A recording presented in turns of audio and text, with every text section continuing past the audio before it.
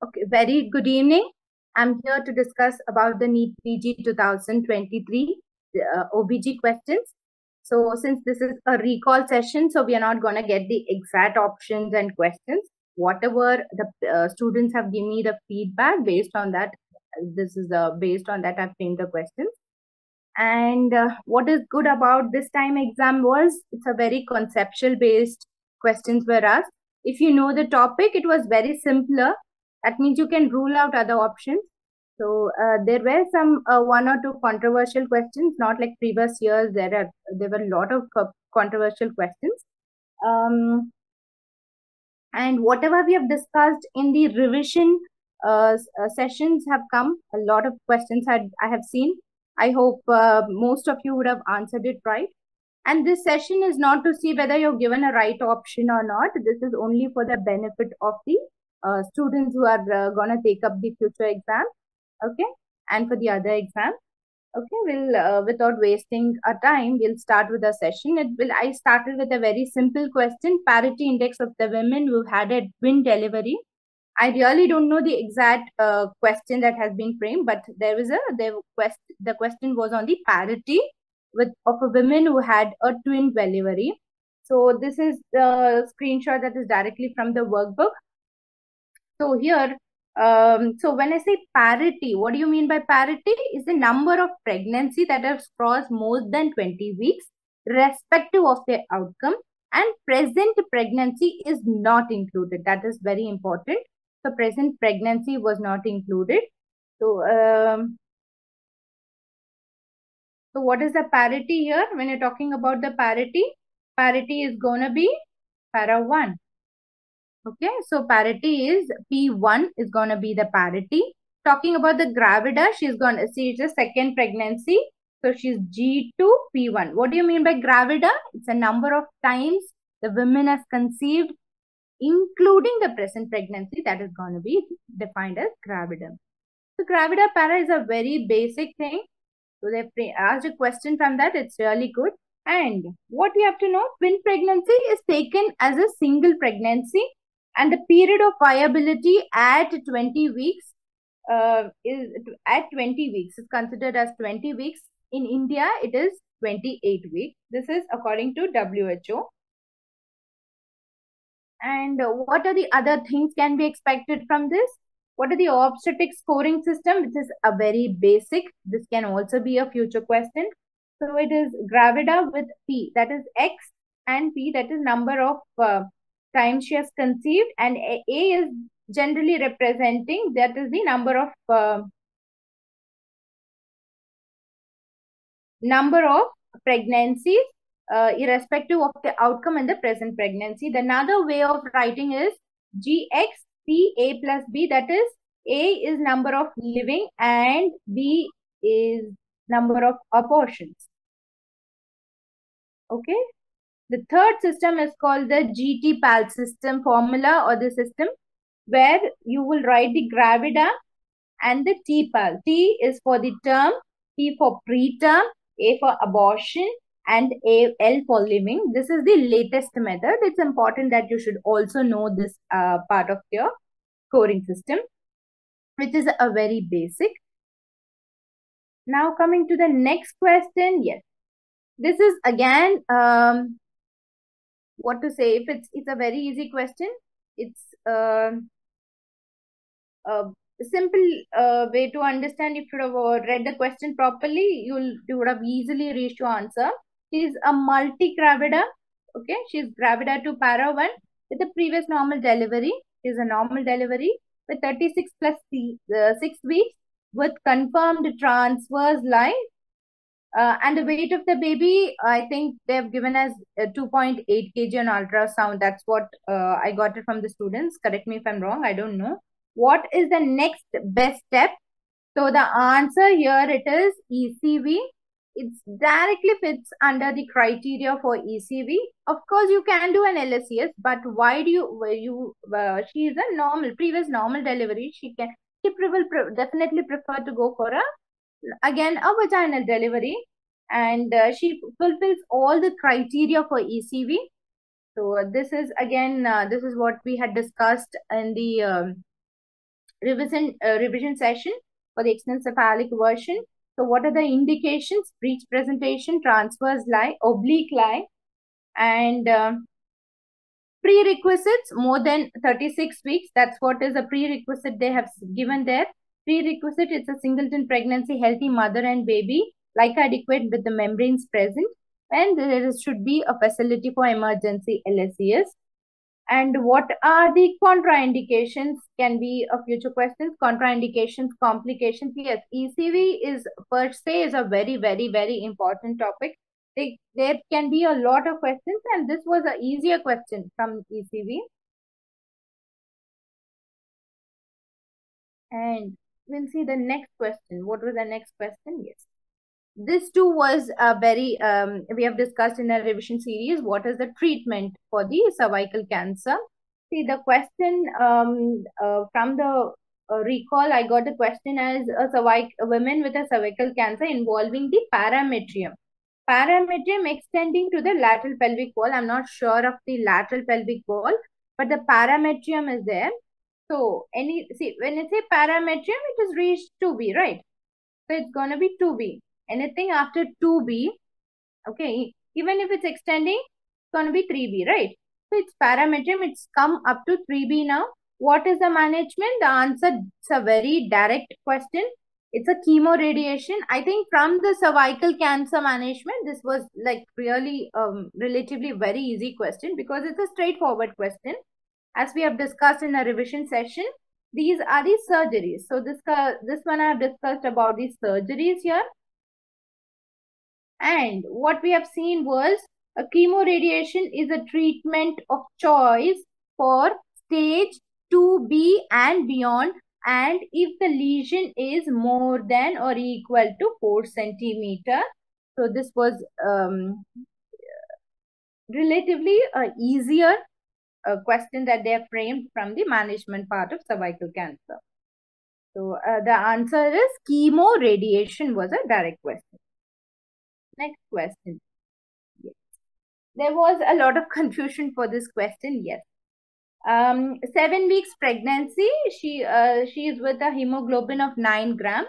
Um, what is the time taken for the uh, appropriate time for the iron supplementation? See, I don't know whether they've asked what is the appropriate time for iron supplementation, but of course, I think uh, there might, uh, I don't know the exact question, but it was a seven week with a hemoglobin of nine.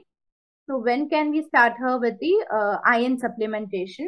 So the answer here is, remember, uh, many of them is given answer as after 14. See, remember after 14 weeks is what we are giving is a prophylactic. She is already anemic now. Yes, right. Is already anemic. How much is her hemoglobin? HB is 9. So she is already under moderate anemia. She is already anemic. So it's better to start her on iron. It's now the next point comes is what iron can be started. Iron, oral iron or parenteral iron.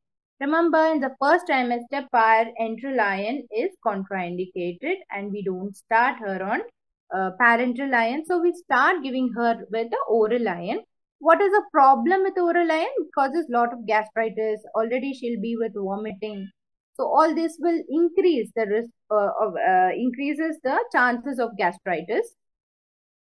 So what happen? So what is advice you can give?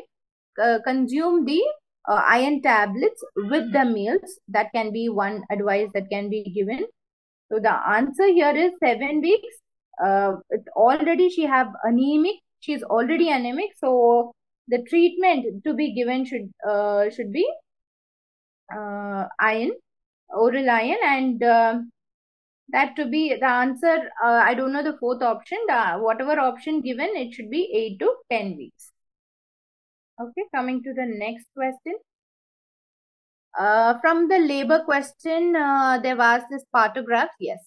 Partograph and the recent one is who care labor care guide should be known it's a very important topic from the labor question yes of course they've asked questions from partograph so what does the question say?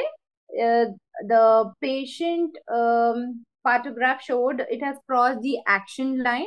It's a fully dilated with meconium That means the membranes are ruptured and it's a fully dilated and molding is 2 plus. Fetal heart rate is decreasing with the station high up. When I say 3 plus, is a higher station. Okay, oxytocin was given. I think the options was instrumental delivery, uh, emergency cesarean section, or you wait and watch. I think wait for the descent. I think what I don't know about the fourth option. Okay, so uh, see when I say three plus, definitely you're not gonna put an instrument. So that's ruled out. Instrument is not there. With a norm, with this one thing you can rule out. And see what is this fully dilated with meconium and has already crossed the action line. It has crossed the action line. That means you have to act now. Okay? That's what it means. It crossed the action line, you have to intervene. Molding is 2 plus and there is fetal heart rate is decreasing. And oxytocin is already given. So option here, the diagnosis here is the secondary arrest of descent. Okay. I don't know whether she's a primary, multi, all that, uh, all the stuffs, I don't know. But yes, the answer here will be emergency LSCS. Already it is meconium and the station is high up and there is also heart rate decreasing and the action line has been crossed in a partograph all indicating for emergency LSCS. So this is a very um, uh, easier question. Have got the catch of station 3 plus instrument delivery is gone. Fetal heart rate is decreasing and she's developing molding with the action line crossing, all that will say you can never wait for the descent. You can't sit and wait. Okay. So the answer here will be emergency LSCS. Okay. Next. This also had little controversies. Many go with uh, went with the answer of transvaginal septum. We'll see what is the question first. See a 16 year old present with a primary amenorrhea with cyclical pain and a suprapubic bulge uh, swelling felt on the entire length of the vagina on per rectal examination. What is your diagnosis? Yes, the answer here is imperforate hymen.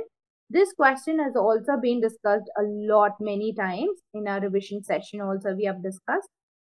Mm, see, here uh, they've asked primary amenorrhea per se is a very, very, very important topic. They can ask you n number of questions, but this time you had two questions from primary amenorrhea itself and um, uh, the answer one small catch in the question was swelling felt on the entire length of the vagina. This might be little uh, for you to confuse. So that's why uh, they would have given this not giving the typical uh, history of imperforate hymen. So we'll be discussing it. So the answer here is imperforate hymen. In transverse vaginal septum the swelling will be felt in the upper one third of the vagina. Upper one-third aspect of the vagina. And cervical agenesis, vaginal agenesis, see this is already ruled out. It's a typical uh, history. Okay.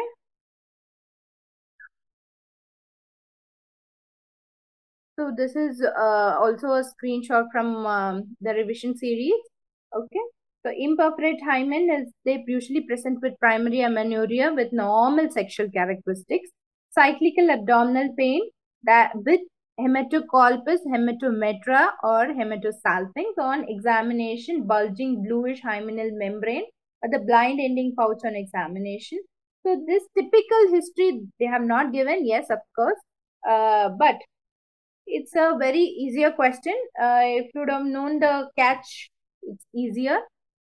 Diagnosis is by clinical or ultrasound or MRI. Rarely it is associated with uh, urological abnormalities and treatment here is you give as a cruciate incision, uh, sterile puncture, single dose of prophylactic antibiotic and estrogen cream is applied for the hymenal ring re-epithelialization.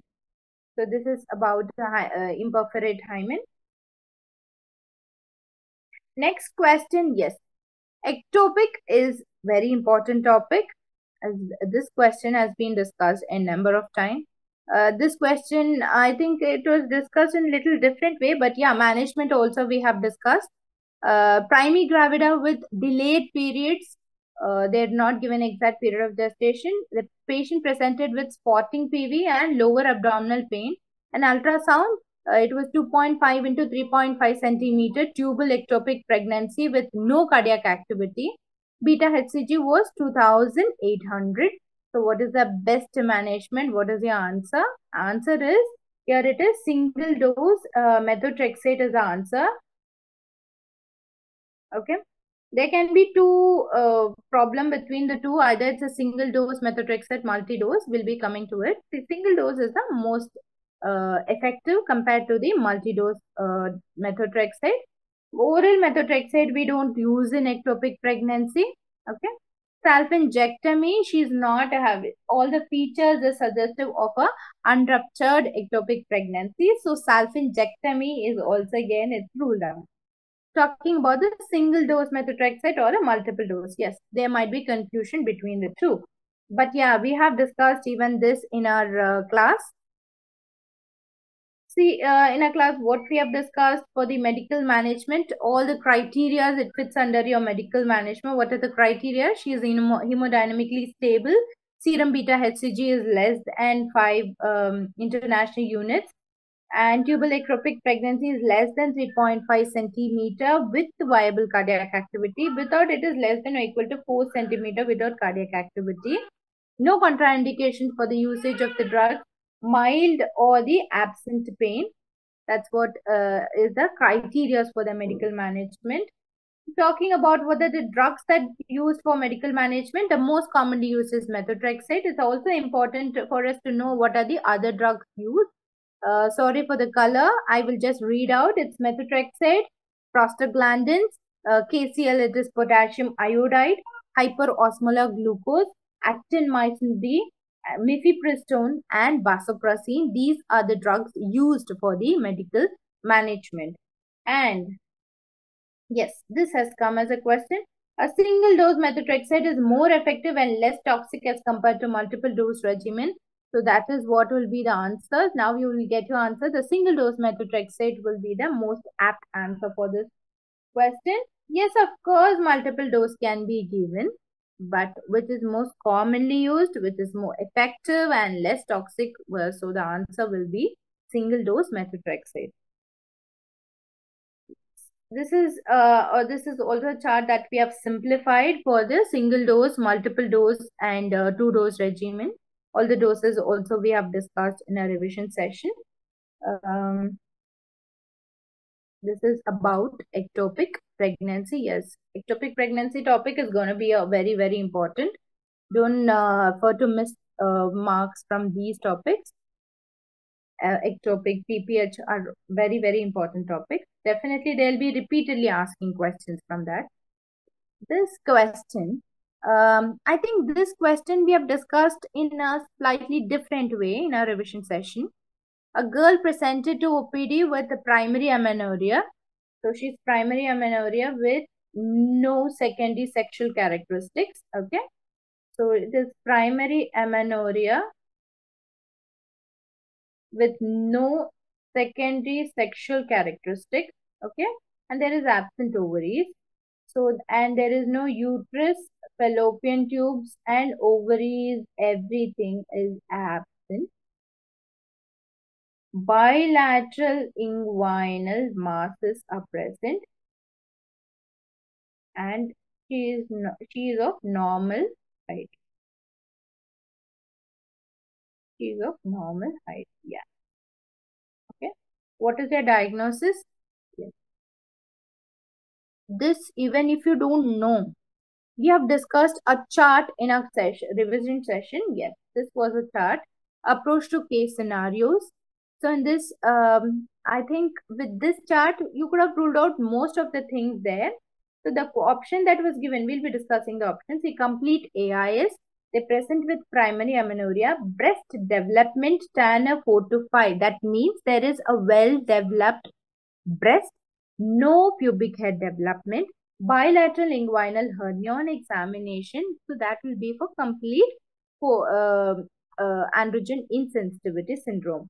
Talking about incomplete, it's same, but in addition, there is presence of clitoromegaly in case of incomplete um, androgen insensitivity syndrome.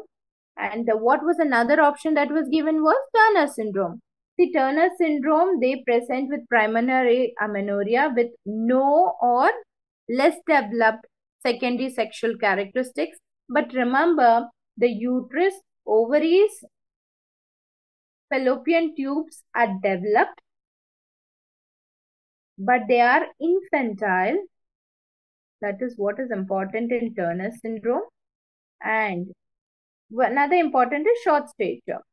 Ovaries, the hallmark typical word that you used to describe is weak ovaries in Turner's syndrome.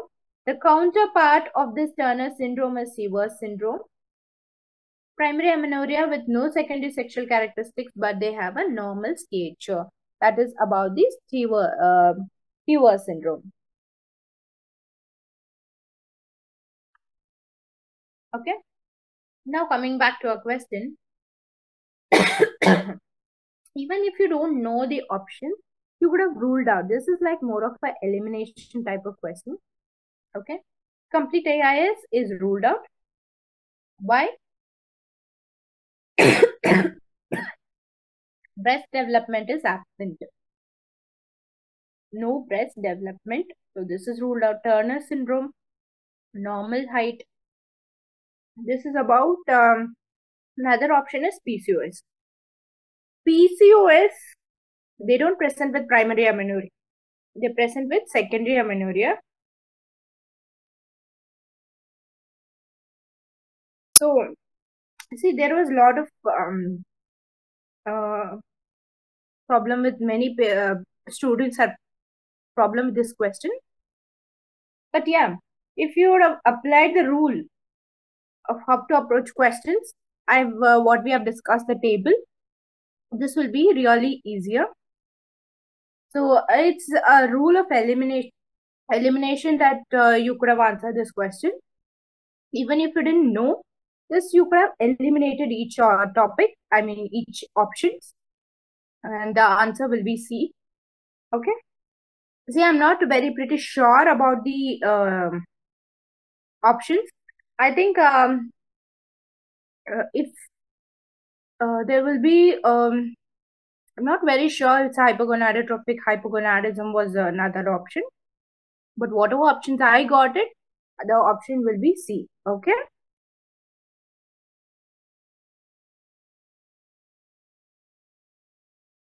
Next question. See, it's a very uh, straightforward question. Yeah, from the history itself, you can know there was again a very simple clue that had been given in your question. So with that, you could have answered it easily. One is a primary gravida at 28 weeks with the fetal parts not easily palpable. With she presented with maternal res, res, uh, respiratory distress. The fundal height is 41 centimeter. That is more than that of her period of gestation. Abdomen is tense but it is non-tender, so that will rule out your abruption. FHR is not easily heard. Fetal movements are normal. That means baby is moving. All that is pointing towards that it's not an abruption. Okay. Another one is what is the diagnosis? Polyhydramnios is the answer. Hydatidiform mole is not the option. Twin pregnancy, no. Abruption is also ruled out. It's a very uh, straightforward question. So the answer here is polyhydramnios. Yes, uh, there was another question on uh, supine hypotension syndrome. Um, I really didn't get what type of uh, question that was options. I just know that there was a question from uh, supine hypertension syndrome. Um,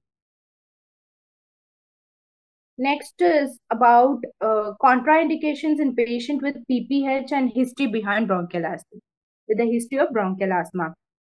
See, this one also we have uh, recently discussed in a revision session. So, what is the drugs uh, that is used in PPH? And um, of course, the answer is very straightforward. The answer is carboprostol. It is PGF2 alpha. It's also called Hemabate any of these options would have been there. That is the uh, carboprostol we have discussed in our revision session.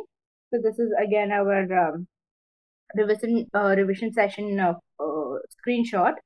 So the we have discussed both the misoprostol as well as the carbamate uh, carboprost is also called Hemabate, which is given in the dose of uh, 0.25 milligram given IV, IM every 15 to 90 minutes interval. Maximum doses up to 8 doses. Maximum dose that you can give is 2 grams. Side effects are diarrhea, hypertension, vomiting, fever, flushing, tachycardia and chills. Yes, we have discussed what is this is. Contraindication is asthma. Suspected amniotic fluid embolism. And related contraindication is renal, liver and cardiac diseases. Yes, there was a lot of lot of controversies again around this question. A patient she presented with, the catch here was she presented with a cervical erosion that means she is having a cervical lesion with a vaginal discharge and dysuria. And her husband is a truck driver. Okay. What is the most appropriate kit? Most of them have answered it as green, thinking it's a vaginal discharge. See, the question here was to, whole point is to describe here was, there was a erosion, okay, the lesion in the cervix so they're telling most likely that was a cervical discharge rather than a vaginal discharge. That's what indirectly they meant to say. There was a cervical erosion and vaginal discharge and dysuria. When there's a truck driver. Okay, so the answer here was great. So we'll be following the uh, syndromic um, approach. That's what is by the NACO. See, gray is for, the, see, many questions, what they've asked the students they were asking is, uh, the gray is for the urethral symptoms, cervical discharge, and the pain scrotal swelling. Yes, but they have given the uh, question as a cervical lesion. This is to indicate indirectly to say that the lesion is uh, leading to the discharge. So it is also meaning that it is cervical discharge presenting as vaginal discharge. Okay. So the that's what is the main uh, confusion here. So if they have not given a cervical lesion or erosion, you would have directly jumped to vaginal discharge and the answer will be green kit. But here, the, the question is with the cervical erosion with a cervical, with a vaginal discharge. So you have to concentrate on the lesion. So the answer here is a gray kit, which has the azithromycin and the cefixime um, this is by the NACO and it's a very um, usual uh, easy question syndromic approach. Yes this is more of a memory question but um, yes. There was a little catch was giving that the cervical erosion. That was a small catch in the question. People would have understood that it's it was a little easier. Okay Next question is um, a 23 year old female married for six months and cohabiting with her husband and not able to conceive. What is the next step in the management? Do a semen analysis, um, HSG, reassure and follow up after six months. I don't know the fourth option. Okay. But remember, she will not fit under infertility first it is not it should be more than one year right? More than equal to one year. Only then you can label her as infertility. And she's remember she's young age only six months cohabiting with her husband and not able to conceive what is the next step in the management. The answer is reassure and ask her to follow up after six months. Remember we will also know if she's not fitting under the definition of infertility definitely we're not going to do her uh, give her any uh, advice in uh, investigations uh, for her or not for her husband. So the answer will be just sure, reassure the patient and ask her to follow up after six months. From infertility, I think this is a very easy question, not uh, complicating things. It's a very easier question. If you know the definition of infertility, the answer will be easier for you. A woman with a history of cancer cervix and a daughter is 40 year old. Cancer cervix does not have a genetic component. So here it's a simple answer will be HPV.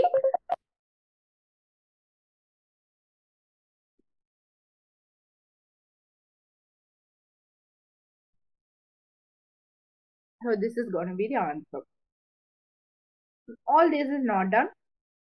They are not very sure of certain options, especially cervical biopsy and those things. I think there was uh, one more option I got was HPV testing. I don't know what are the other options. Uh, the, but the answer is HPV vaccine is the answer for this question. Hysteroscopy also we have revised in our uh, class. The very simple one. Hysteroscopy is a, instrument that is used to go into the uterine cavity with that small um, background. At least you could have answered this.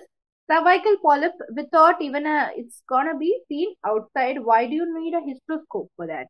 So this option is ruled out. Subserous myoma, subserous, uh, so this is the uterus.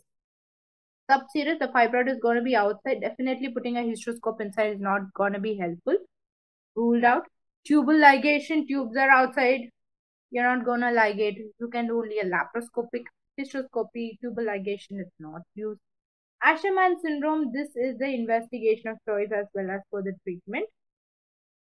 Yes, both we have discussed in our revision session. So uh, we have also discussed what are the distension media. Yes, they've asked a question from uh, about uh, the um, distension media and the hysteroscopy. We'll be dealing it later. Um, so yes, we have discussed this question on hysteroscopy, the indication. So um, what they have asked was the Asherman syndrome. Asherman syndrome also we have discussed. Asherman syndrome is due to intrauterine synechiae formation that is secondary to the vigorous uterine curettage in the postpartum period. The so in hysteroscopy is gonna be the investigation of choice. What is the appearance in HSG is a honeycomb appearance, as well as a treatment that you do with a hysteroscopic adhesiolysis is done again with a hysteroscopically. It's both the investigation of choice as well as used for the treatment of Asherman syndrome. Again, if this is also a question of elimination, if you would have eliminated that option, you would have reached your answer. So again, easier question. yes. This question created a lot of confusions among students. C2 liter deficient and the most complication that you encounter in hysteroscopy. 2 liter deficient is about the surgeon. It's not for the patient. That's the whole point. If you have uh, understood that, Nothing, see, hysteroscopy, you're using a distension media, distending fluid, okay? Two liter fluid is deficient for the surgeon. That means there is excess in case of a patient. So the most common complication that we encounter is the pulmonary edema. It's a very simple logic, but the, the way they framed the question was a little complicated. Um, see when I talk about NEET uh, questions, overall questions were okay, but the the way they framed was little uh, creating confusion. That otherwise it's the same topics that has been repeated. Hysteroscopy is a very important uh, um, aspect from the gynae, so um, it should be read in and out. Two liter deficient is for the surgeon and not for the patient that you would have understood from your question. This is also an easy uh, question. Next question is in obese women with a history of acne and not responding to antibiotic and isotretinoin. So this is not an antibiotic resistance. Okay, this is not history is not suggestive on antibiotic resistance. Testing for a trigger factor. This is also not an option. Testing for insulin resistance. No. This is a testing for the hyperandrogenism where there is increase in the testosterone levels that is leading to all these problems. That is not responding to antibiotic and isotretinoin. So it is tested for hyperandrogenism is the option for this. Yes uh, as we had a very good uh, VSV classes, image-based questions we have discussed, and the same image has come Uh, so the patient, the history was the patient was on injection HMG. Yes, that's what we have discussed. In our class, we have discussed that the patient uh, OHSS, this is the case of OHS, ovarian hyperstimulative syndrome. It's a condition is because of the increase in the gonadotrophins. It is increases with the HMG compared to that of the clomiphene citrate or the letrozole when used for ovulation um, induction. Okay. So uh, other factors we have discussed in our class with that is main cause is because of the increase in the production of VEGF that is from the ovarian stroma leading to a series of symptoms that you see in OHSS, ascites, edema. Okay. So this as um, I think from image based questions, I was so happy seeing this question that we have discussed. Uh, and I think most of you would have answered this question. I have no doubt about it. And uh, um, I think definitely the option also con- uh, had PCOS, but I'm sure you would have differentiated the both and um, and you would have written the answer because we have discussed only in such a format that how to differentiate between PCOS and OHSS and the history was very suggestive of OHSS. I think uh, most of you uh, would have definitely got this question right. Another question was on Bartholin cyst. I'm not sure about what image. Uh, this is just a, a reference image. Uh, that the uh, in, in image-based questions was direct from a Bartholin abscess. It's a very simple question.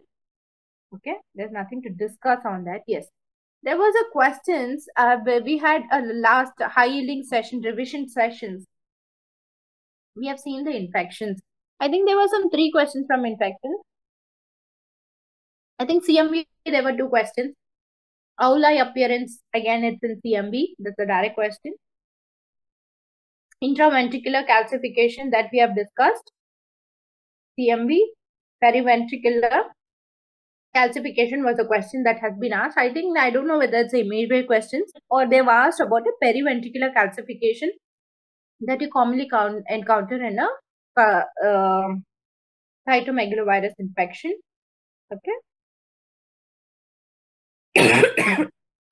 we also discussed that parenchymal or the intravent uh, intracranial to say generalized calcification it's a feature of a toxoplasmosis that also we have discussed.